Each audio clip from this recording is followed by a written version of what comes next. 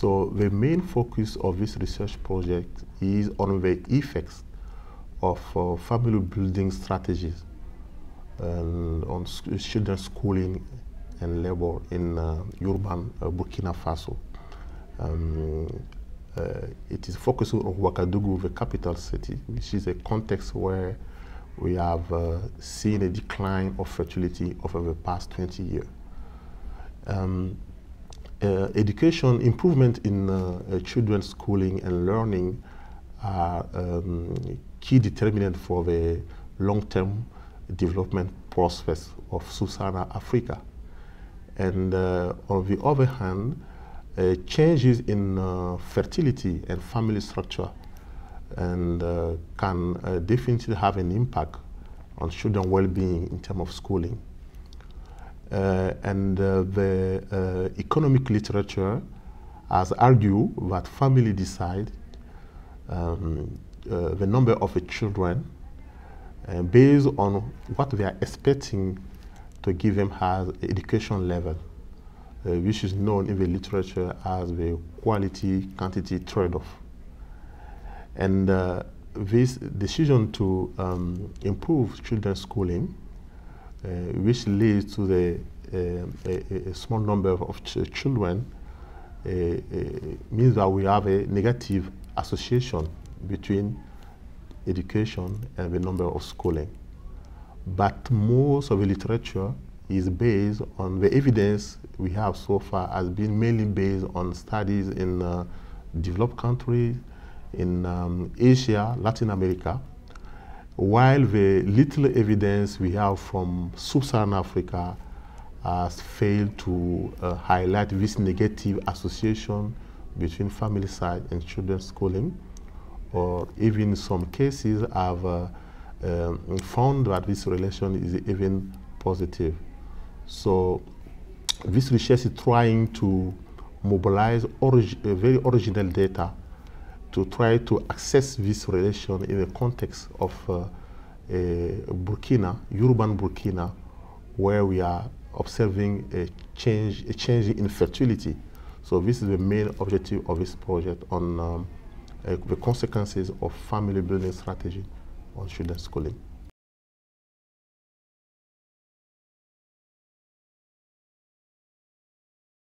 Moussa Bougma is uh, one of the PhD students in Montreal. So actually we have some uh, a PhD student working on the data uh, of this research project. And he's working actually on uh, the main question of the research. So um, try to highlight this relationship between family side and children schooling. And uh, um, this uh, um, strategy, the methodology uh, he has chosen, uh, try to, to, to, to highlight the two, the two mechanisms beyond this relation between uh, family side and children's schooling. Because um, this association actually uh, can reflect uh, two things. One is uh, uh, the, the, the, the, the, resource dilution effect. That means by the, the, the, the less children you have, the best educated they are. This is what we, we call the resource dilution effect. And the other mechanism is uh, uh, the selection effect, meaning that um, parents uh, uh decide on the number of children uh, uh, given that they, they are planning, they are expecting to give them more education. So these two mechanisms, the dilution effect and the selection effect, is what Musa Buguma is uh, trying to, to, to, to, to, highlight in, the, in his paper. So this is really uh, fitted on what the project is trying to, to answer.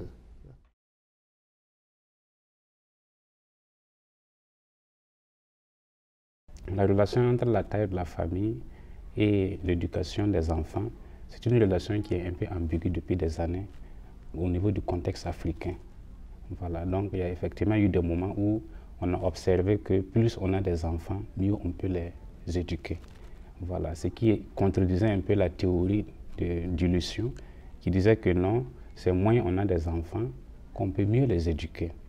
Mais on a remarqué qu'au cours des dernières années, il y a vraiment eu des campagnes de, de sensibilisation et puis l'accès même aux méthodes contraceptives qui font que les gens actuellement prennent conscience que ils peuvent aussi en tout cas contrôler leur procréation. Comme les méthodes sont maintenant disponibles, peut-être que les gens anticipent déjà l'éducation de leurs enfants en se disant que non, je vais faire moins d'enfants dans l'espoir de mieux les éduquer. Donc, nous, les données sont vraiment originales. Ça nous a permis de collecter des données sur l'infertilité secondaire des femmes âgées de 35 à 59 ans. Voilà, donc on leur a demandé de savoir est-ce que le nombre d'enfants qu'elles ont actuellement, est-ce que ça a été un choix délibéré ou bien il y a eu un problème quelconque? Voilà, donc cette question nous a permis de dégager trois catégories de femmes. Donc il y a vraiment des femmes qui ont dit avec leur conjoint que non, ils n'ont pas, eh, ils ont choisi de limiter intentionnellement leur fécondité. Voilà, c'est la première catégorie. Et la deuxième catégorie, c'est des femmes qui disent que non, on a eu des problèmes d'infécondité, sinon on aurait voulu avoir plus d'enfants. Généralement, ce sont les femmes plus âgées. Et il y avait une troisième catégorie de femmes, c'était les plus jeunes, qui disaient que non, on est en train d'espacer les naissances, voilà pourquoi on a stoppé. D'autres ont dit que mon mari a voyagé, et d'autres ont raconté que non, l'enfant dépendait de Dieu, et d'autres aussi ont, évoqué des maladies, voilà. Donc, pour effectivement appréhender l'effet du comportement, nous, on a dégagé ces trois groupes-là et on a focalisé l'analyse sur les deux premiers groupes à savoir ceux qui ont intentionnellement limité, c'est sûr qu'ils avaient des raisons, et ceux qui ont eu des problèmes d'infécondité. Voilà. Et les résultats maintenant montrent que lorsqu'on contrôle tous les facteurs, en tenant compte en tout cas de leur niveau de vie, de leurs caractéristiques socio-économiques, et, et, des, femmes et des enfants, on se rend compte que les enfants dont les mères ont intentionnellement limité leur fécondité avaient des meilleures probabilités d'accéder à l'école que ceux qui ont eu des problèmes d'infécondité. Voilà, donc cela suppose que il y a quand même le fait de, de limiter volontairement sa fécondité, il y a l'idée derrière de mieux scolariser en fait ces enfants.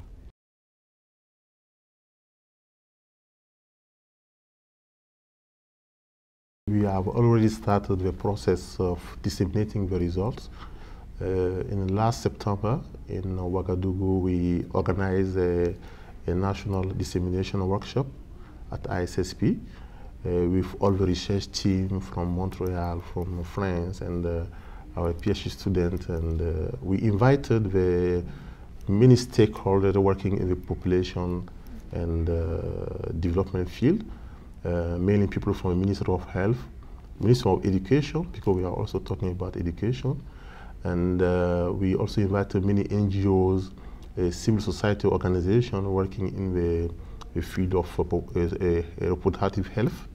So we had many uh, participants to this um, workshop and uh, we presented the main findings, the first uh, findings and the main findings of a, of a research project during this, this workshop in Ouagadougou. And uh, actually, we, it was very, very fruitful because we had a lot of discussion with the stakeholder and uh, a researcher from other organizations. And uh, um, uh, the idea was that to see how we can continue this kind of uh, uh, opportunity to, to discuss and to, to see how we can go forward with the conclusion, the policy implication of, this, of, the, of, the, of the findings. Mm -hmm. So the other a, a, a, way of disseminating is what we are doing now. We are actually, uh, we have been, um, Moussa and uh, uh, the other PhD student working on the, on the, on the research project. Uh, we have presented, uh, presented papers and different conferences uh, in Busan last August at the IUSSP conference in, in South Korea and uh, at the PA, but also at the PopPov, the Population Poverty Network uh, AIDS conference in Nairobi in last January. We also presented the result of a, of a research. And uh, now we are in the process to, to, to, to, to, to finalize this paper. We are working to finalize this paper based on the comment we receive from participants to this conference in order to submit this paper to, to, to scientific journal. Mm -hmm because this is really part of a, the, the PhD uh, dissertation. Mm -hmm. So this is what we are doing so far. But we really want, uh, at some point in time, to to try to to to to to to, to, to, produce some policy brief. Yeah, this is some of the things we have really. I think we we have already at ISSP we have already doing some of this uh, policy brief uh, based on the demographic surveillance system. We call them Ouaga Focus. So this is one of the means we can use you know, to, to, to, to, to highlight some of the key findings of this research and disseminate it uh, uh, largely to the, to, the, to the stakeholders working on the population and health.